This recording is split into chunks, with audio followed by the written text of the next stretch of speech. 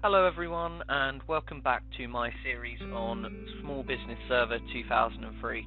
In my last video we went through the kind of boring and complex install of Small Business Server 2003 and when we ended up we were greeted with the complete your configuration uh, tasks that you have to do at the end of your Small Business Server installation. So today we're going to go ahead, or in this video at least, we are going to go ahead and complete the post-install configuration.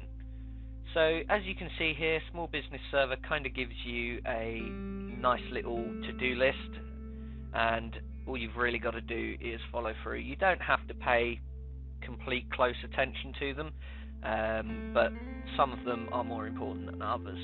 So let's get started. So the first one we have on our list is View Security Best Practices.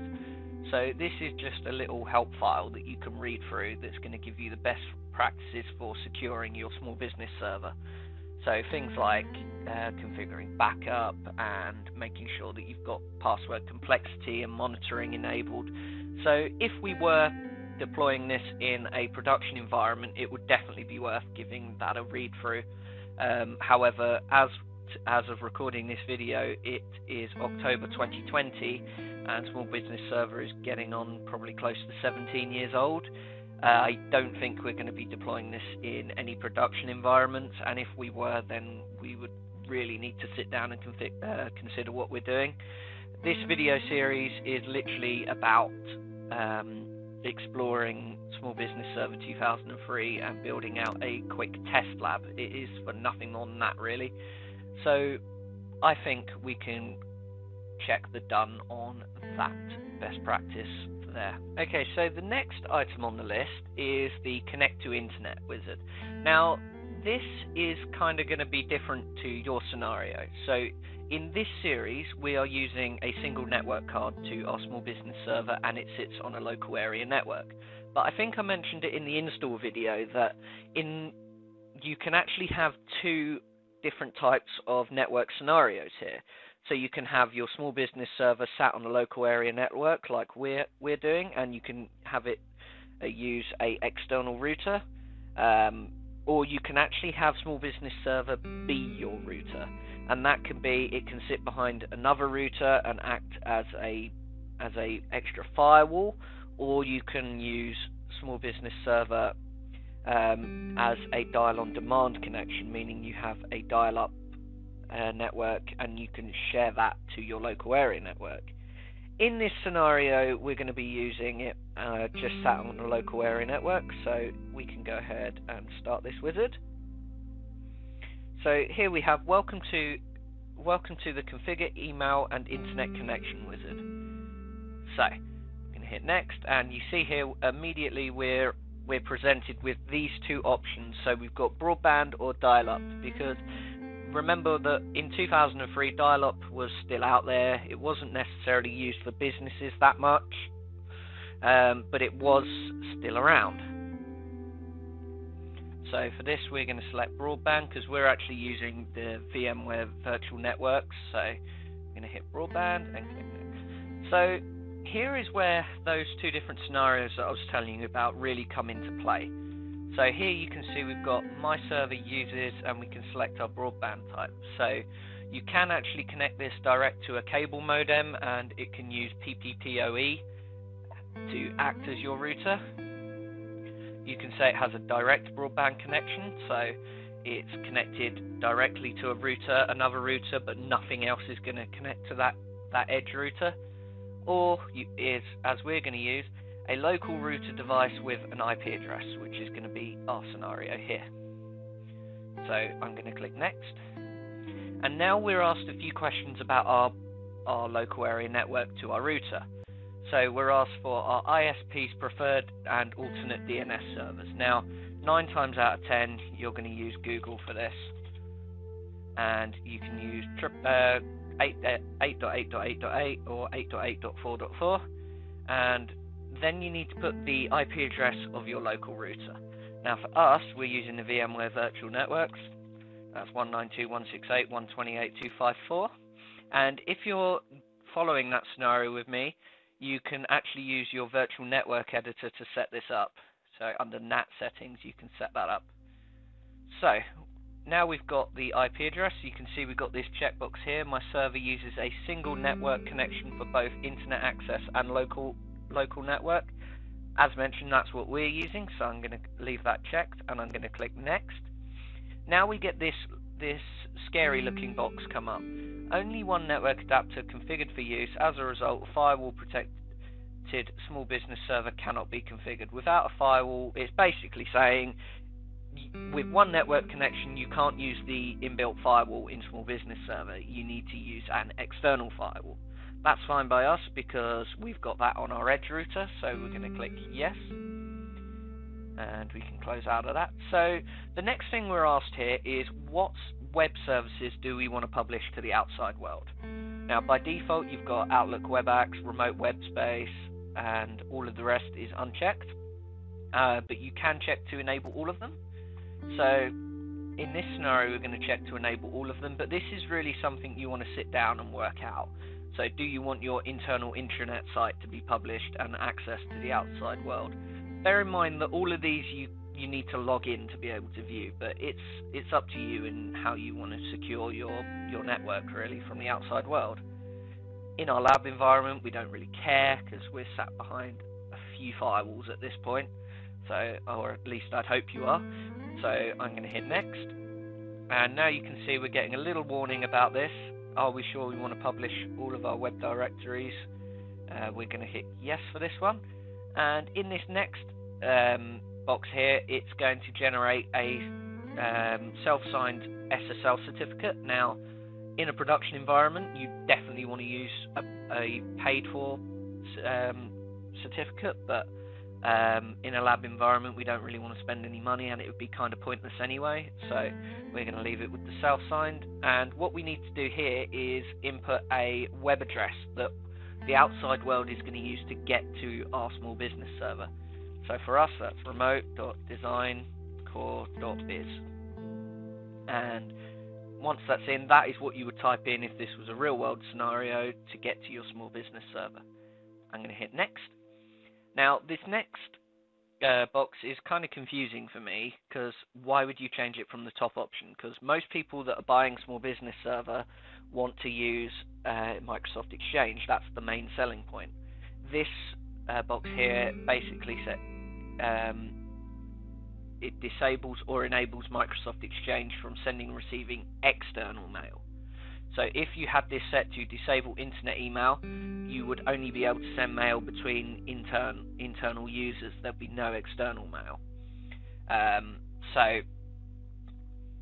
yeah, so it's kind of pointless. And I think the real reason they did this is in 2008 onwards with Small Business Server, they had both an Essentials version and a Standard version. The Essentials version basically didn't have Exchange and handled a few things differently. So I think this is kind of both the Essentials and the Standard Edition rolled into one. So we're going to leave it with Internet Mail enabled and hit next. And you can see here it's asking us now what our email delivery method is going to be. So for us, we're going to use DNS. So this is basically in your domain name you would have an MX record and this MX record would then point, in our case, to remote.designcore.biz, uh, and the the World Wide Web would then distribute mail using that. But for smaller businesses that say don't have a proper business broadband connection, a lot of broadband connections might actually reject this traffic. So the other option there is to to forward email uh, through an ISP, and that can be something called a smart host, which is essentially um, you direct email um, when someone sends an email internally, it would then go out to your ISP's mail servers and say, "Hey, can you deliver this on my behalf?" And at that point, it would then deliver. It would then use a secure and trusted server to deliver your mail. Lab scenario, we don't really care, so we're just going to leave it on DNS and click next. So the next screen is, uh, sorry, the last screen, just to clarify, is how you want to send mail. This screen is how you want to receive it. So back in the 2003 to 2005 era, there were kind of two ways that people would use Microsoft Exchange to receive mail. Um, the first, which is the more common one, which is basically to receive uh, mail directly to Microsoft Exchange using SMTP, and that that's fine, um, and that works fine. Uh, the other method is you can use, like with uh, sending mail, you can receive it from your ISP's SMTP server, which was kind of more of a secure way of doing it and was a lot more trusted. Uh, but the third way is to use a POP3 connector, which basically means you have a mailbox hosted by, say, like a hosting company, which receives all of your mail from your domain, regardless of who's it, who is it to. And then what that the Exchange server does is it picks up all of that mail, pulls it all in, and then distributes it towards your various users. And a lot of small business servers actually went for that scenario because if your internet went down, you could still receive mail. You'd just have to wait till your Exchange server came back online and you can then receive your mail through POP3. So a lot of small businesses that didn't have the world's most reliable broadband chose that option. Um, a lot of large businesses uh, that say use Exchange outside of small business server would then use just direct to the server or something like that. But we're not really going to be receiving external mail, so I'm just going to leave this as default and click next. So in the next screen, we're asked what is our domain name to use with Exchange. So this is going to be designcore.biz. Quite simple that. So say the user Bob, he would have bob at designcore.biz. I'm going to click next. Next we've got a screen that allows us to remove uh, sort of dodgy um, attachments that are coming into emails. This was some like very early anti-spam and anti-phishing. So this is things like Visual Basic code, access files, batch files, things like that. We're not really worried about this for a lab environment, so I'm going to hit next. And now you can see we're finished. We get a brief summary and we can click finish. And it's going to go ahead and configure all the options we just put in. Okay, so now you can see that the internet email and configuration has completed. So that's another that's the first thing we can check off the list. So now as soon as you do that, you're going to get this um, this pop-up message. Now, when Microsoft built Small Business Server, you got to bear in mind it's kind of built for business owners that are a little bit tech savvy but don't necessarily know IT inside and out. So this uh, box here is basically saying, hey, you've now published to the outside world. You kind of might want to put some password complexity on at this point. So at this point, we're going to hit yes, and we're going to enable the complexity. Um, and you can actually choose to delay the password um, complexity rollout, but we can just do it now because there's no users yet. Um, it is recommended that password policies are yeah, we just put them on now. And there we go, and now we can say it's basically prompting us to do some Windows updates. So as you can see, Small Business Server really kinds of kinds uh, tries to prompt us all the way through to make sure we're being secure. So it was kind of good for like small business owners. Well, hence the name really. Um, it's tried to then open the um, Windows Update website, but as you can see, we've got internet connectivity, but it's really kind of old and doesn't load anymore. So it's fine. We don't really care. So that's another thing checked off the list. And the next one is configure remote access.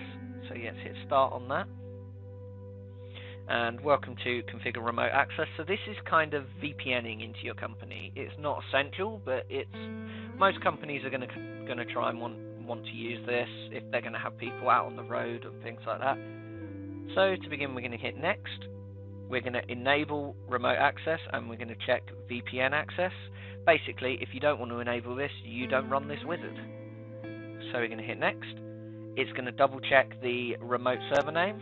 That's correct for us, so we're going to hit next. And then we're going to hit finish, and it's going to go ahead and configure this for us. It's really that simple. And you see that went through rather quick. I didn't even need to pause the recording. So that's the next thing we can check off the list. We can hit done. Ooh, I didn't even know you could click that and it would check it for you. That's something new. The next option is probably going to be quite interesting for uh, a lot of lab users, and that is activate your server. So remember in the previous video we skipped putting the product key in. Now, one little disclaimer here is I use only legit software and if I am using ISO files, I'm using ISO files that I've created from legit disks. Uh, I don't use any pirated software or if I'm using any software I don't have a license for, I'm using an evaluation. So in this video, I actually do have a valid license that I'm going to use. So I'm going to pop my key in now. Okay, so I put my key in here. I'm obviously not going to show that with you guys. If you do want to keep a lab going for a long period of time, then you might want to go onto eBay because I know a lot of companies sell off their old licenses. I'm not saying that's the most legit thing to do in the world, but if you're only using it for a lab environment, you're not really committing piracy at that point. So you know, I I can sort of uh, condone that. But as I said, I don't do any kind of software piracy when it comes to labs.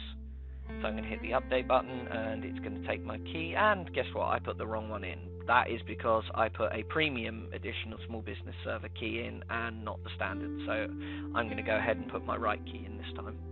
Okay, so now I put the right key in this time. I'm going to hit retry and it liked the key so let's try and activate. It might not even allow us to activate such an old operating system, but let's give it a go anyway. Yep, unable to uh, communicate with activation servers, but I have a legit key, I paid for the license, so that's in. The lab will stop working eventually, but you know, we've we probably won't be using it for this long, and as it's for testing, we're okay at that point add additional client access licenses. So this is kind of a wizard where you can go through and add additional client access licenses. Um, small business server, I believe, comes with five, and you can have up to 25 users. Um, yeah, for a lab, absolutely fine. The next option is these are kind of management tasks. So we've completed the first section, which is like the setup options here. So in the next um, sort of section, these are like common management tasks, but it's kind of prompting you to do them now before you start using your server. So the first thing we're going to do is add a printer. So obviously we don't have a physical printer, but I find if it's kind of useful to have a fake printer there just so, to make the lab a little bit more real. So I'm going to go through and add this now. So we're going to create a new port. It's a TCP IP port and uh, we'll do it on 192.168.128.31. So that's usually around the IP address range that I usually use for a small business network. So one is usually the server, 254 is the router, um, uh, tw- uh, 20 to 30 is usually switches and things and access points, and then 31 up to 40 is my is usually printers and other things like that, and then I have the DHCP range from 50 onwards. So I'm going to hit next.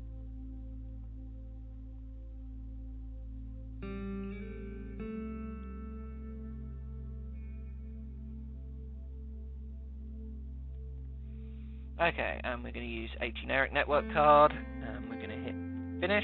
So now we've created the port, we can now select what type of printer it is, and it's a HP LaserJet uh,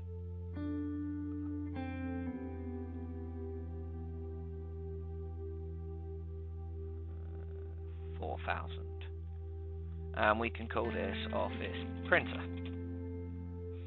Then we're prompted to add a share name. I'm just going to leave this as Office, location Office, uh, side desk, and then we're going to hit Next we don't want to print a test page because it won't actually print. And we can do finish, it's going to copy over the driver, and we're done. So that's another thing we can check off the list. So the next uh, item in the list is add users and computers. So we can do this. So we're going to hit start on this task. Welcome to the add users wizard. Um, here gives an out, out overline of what, what it's going to do for us. We're going to hit next. So one thing that you get in small business server that you don't get in like full blown Active Directory networks is you get user templates, which are really handy stuff to have. So we're going to go ahead and use the standard user template here, and we're going to hit next, and we're going to add a new user. So the owner of this virtual company is David Gibson and we can change the logon name to D Gibson. And what's really kind of cool is once you've selected that login name in that drop down box, it will remember which one you chose.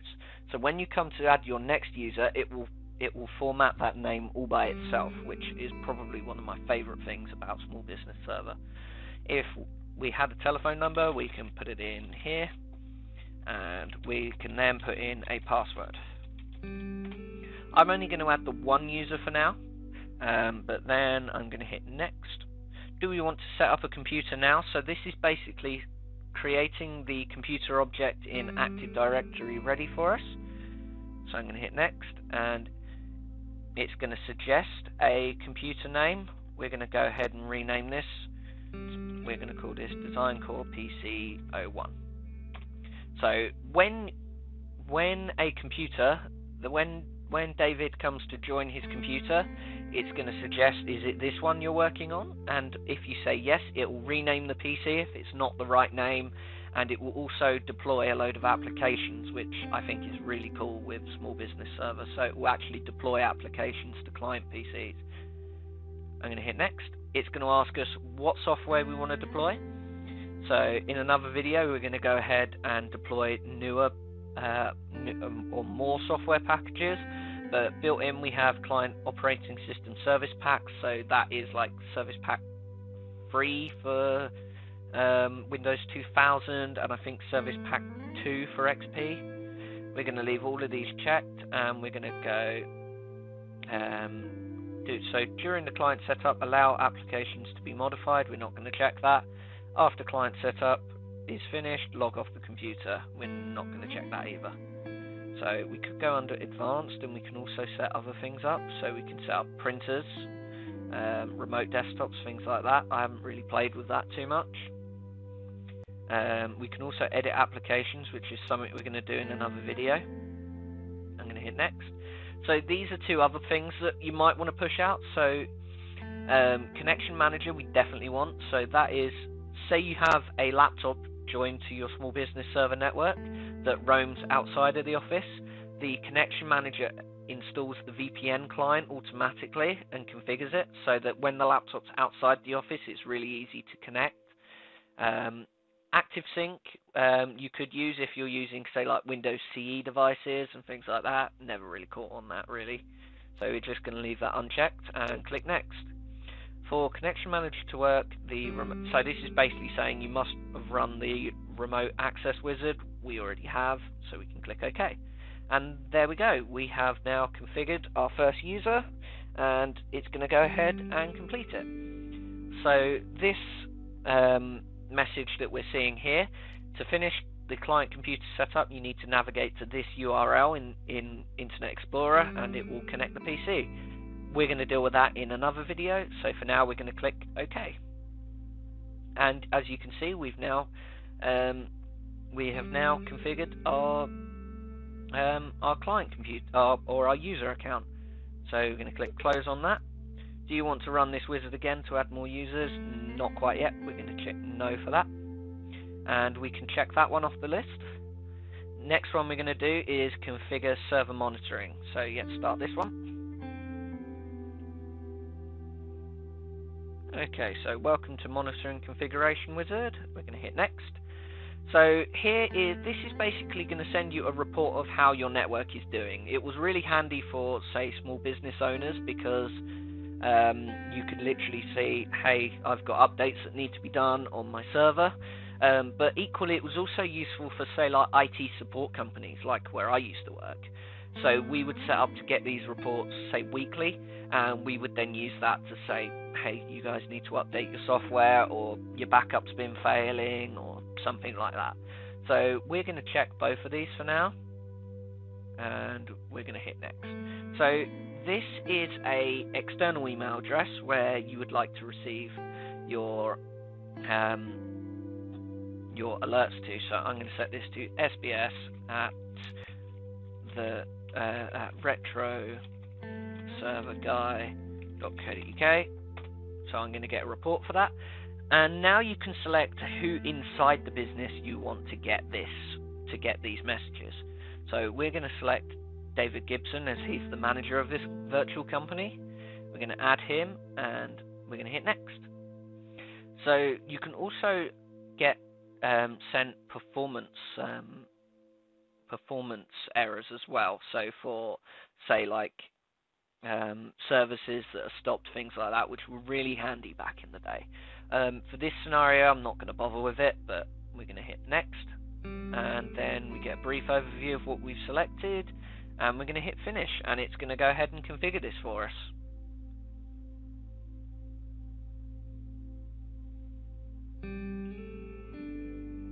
And as you can see, we've now finished the monitoring wizard, and we can click close, and we can check that off the list. The last thing on the on the list, I would kind of say is optional, and the reason I say that is optional, not because you shouldn't be backing up your data, you always should, um, but because a lot of companies that were putting in small business server used things like tape drives back in the day. So they would come in every morning. They put, say, if they came in on a Monday, they would put mon- um, they would put Monday's tape in, and then say like at seven o'clock on a Monday, uh, that backup would then run, and then in the morning they'd come they'd come in to find the tape had been ejected, but was just hanging out the drive to uh, to say that the backup was done. Um, that's fine, but for that you really used something like Veritas or Symantec Backup Exec um, to do complex tape backups. So a lot of companies that had tape solutions were not using the inbuilt backup with Small Business Server. The other thing companies did is they purchased like three or four um, USB hard drives or zip drives, something like that, and they alternated them on, say, like a weekly basis or something, and took one home. Again, that's totally secure. Um, it's easier to recover as well. So in this scenario, we are going to be using an external drive. So I'm going to hit start on this, and we're going to go through to the server backup configuration wizard. I'm going to hit next, and now it's asking us where we want to store our uh, backups. Store backups on a local hard drive or network share. We can see tape is grayed out because we don't have a tape. Uh, it's saying here we could not detect a tape drive. Um, so in this scenario, we are going to use a backup drive. Now, we have an extra hard drive, but it's currently not formatted, so we're going to go ahead and quickly format this drive. In later versions of Small Business Server, it actually did this for you. And now we can see our new drive. It's a 400 gig drive, and I'm going to go ahead and format it, and I'm going to call it backup. We're going to perform a quick uh, format, and yeah, let's put compression on for this so we get a bit more space. Okay, so the backup drive is now done, and that's F, so I'm going to put in the F drive to store the backups. Now it's asking us, by default, all information required to be successfully restored from your computer is backed up, but we can exclude stuff. So by default, it's going to include all of the drives, um, but it's also excluding the F drive backup files. Um, so I'm actually going to go ahead and just exclude the entire F drive because there's nothing on that we want to back up. So as you can see here, we've got our C drive and our E drive, and we're excluding the backup drive because we would just be put into a infinite backup loop of doom where it's trying to back up the stuff it's just backed up, and it just really wouldn't work. I've seen that before. Um, so now we're going to hit next. Now it's going to ask us when we want to perform our backups. So by default, it's going to put it on just weekdays because if you imagine when the data is going to be um, changed the most, is it going to be on weekdays or is it going to be on um, every day? So it's up to you at this point. We're going to st say store a maximum of 10 backups, so we've got a little bit more of a retention. and we're going to start our backup at 5 o'clock. I'm going to hit next. So retain copies of permanently deleted emails. We're going to keep 30 days. Yep, that's fine. Uh, enable periodic snapshots of users' shared files. Yep, these are all fine for us. In a back in the day, they might have chosen something a little bit different, but that's good for us. Next, um, again, we get a little summary, and we're going to hit finish, and you can see there it has now um, finished our configuring our backup. So I'm going to hit close and we can check off the last item on the list. So as you can see now, we've finished every item on our little to-do list. We're going to hit close, and we are now done with the post-install configuration. We can hit start and open up the server manager, and in the next video, we are going to get started navigating around the uh, small business server management console. Thank you very much for watching this video.